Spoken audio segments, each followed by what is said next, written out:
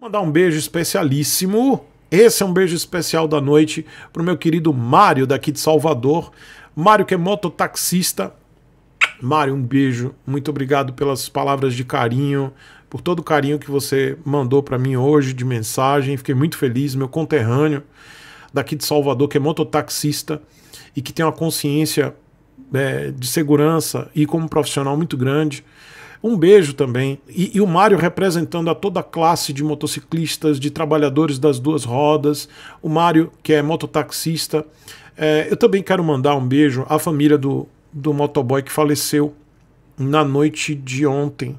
Ele foi assassinado é, por assaltantes aqui em Salvador. Então eu quero mandar as minhas condolências, o meu beijo, os meus sentimentos à família do mototaxista do motoboy que faleceu na noite de ontem devido a um assalto aqui em Salvador.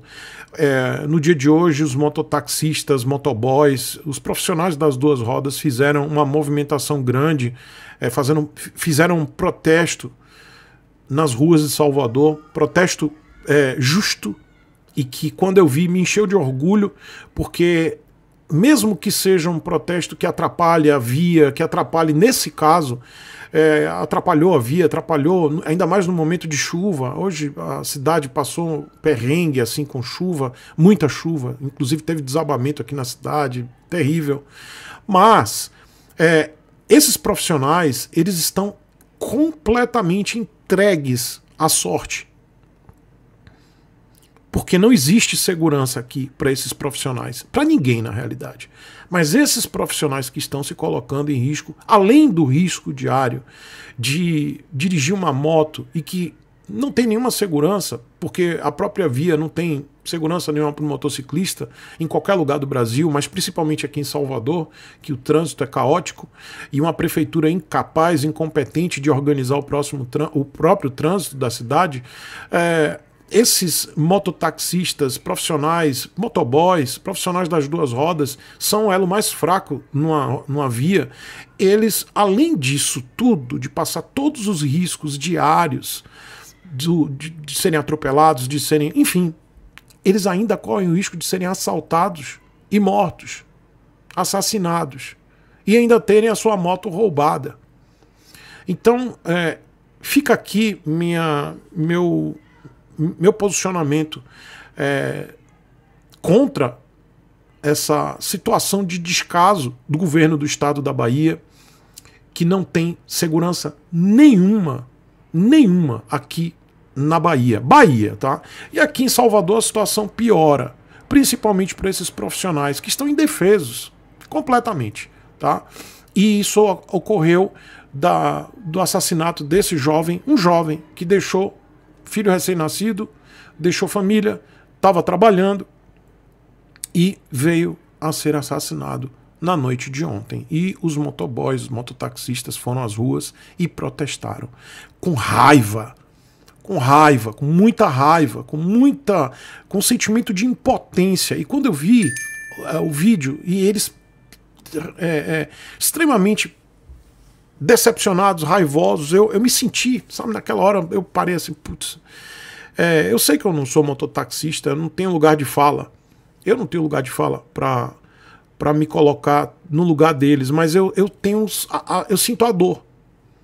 Sabe a dor de, de, de ver esses trabalhadores que sofrem tanto com salário baixo, as condições precárias e ainda por cima eles ainda correm risco de perder seu bem ou a vida por não ter segurança nenhuma, absolutamente. Então fica aqui meu, meu posicionamento, tá? A favor dos trabalhadores das duas rodas, a favor é, dos motoboys, dos mototaxistas, daqui de Salvador, tá? Eu, eu sei que eu sou a favor de todos os motoboys, mototaxistas do Brasil todo, eu falo para vários, inclusive, aqui durante a, madrugada, durante o dia, inclusive, que falam comigo. Mas hoje, em especial, eu, meu coração está com cada um de vocês que trabalha nas motos daqui de Salvador. E meus sentimentos aí à família que perdeu o ente querido e o trabalhador, tá? E vocês, motoboys, mototaxistas daqui de Salvador, cobrem, cobrem as autoridades, cobrem do governo do estado, vão lá para a porta do governador, lá na porta do governador, é para lá que vocês têm que ir. O governador do estado, que é um incompetente, que é um incapaz, vocês têm que ir para lá, lá para o palácio lá de Ondina. Não é? Eu, eu entendo a raiva de vocês.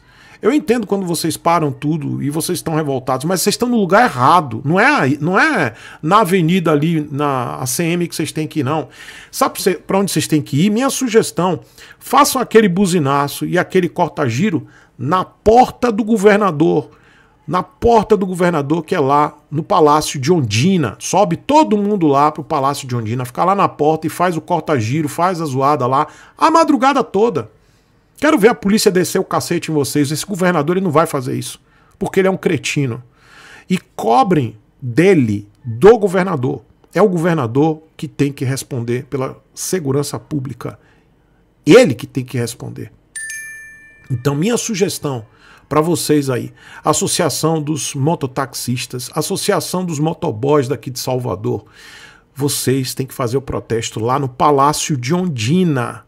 Palácio de Ondina. Vai lá para frente do, do Palácio da, do Governador do Estado e façam todo o barulho possível lá, porque eu duvido que ele vai botar a polícia abaixo de cacete. Não vão fazer. Esse governador que é um cretino, ele não vai fazer isso.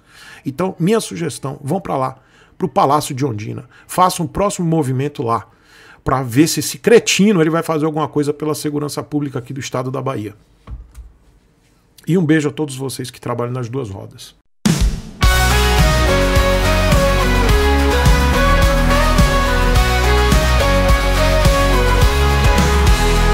Amiguinho, você tá nervoso? Preço das motos, um perigo grandioso. Pessimismo no ar, deixa teu olhar. Mas calma, amiguinho, deixa eu te falar.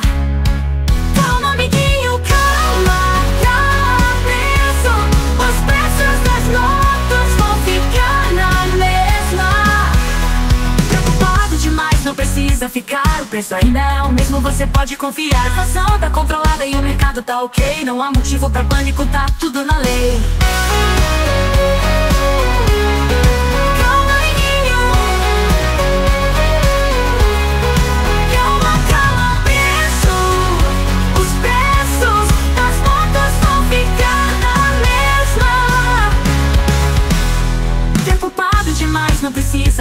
o preço ainda é o mesmo, você pode confiar. Inflação tá controlada e o mercado tá ok. Não há motivo pra pânico, tá tudo na lei. Calma, calma, piso. Os preços das motos vão ficar na mesma. O tempo vai mostrar que não tem por que temer. A calma sempre vence, deixei o medo correr. Amiguinho, confia, a vida vai moto ou sem moto, vamos celebrar.